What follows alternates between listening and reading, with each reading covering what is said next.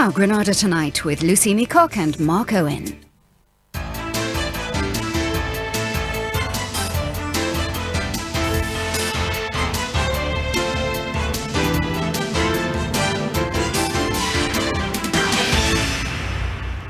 Hello and a very warm welcome to the programme.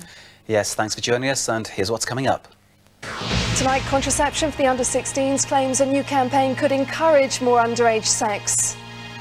A plague of wasps and the shocking difference in the price you pay to get rid of them. Picked up by a metal detector, the priceless bronze axe made at the same time as the pyramids. And imagine if you look like John Lennon, American talent spotters want to hear from you. But first tonight, the controversial campaign to tackle the highest teenage pregnancy rate in Europe. More than 70 chemists are now giving out the morning after pill in a pilot scheme in Greater Manchester.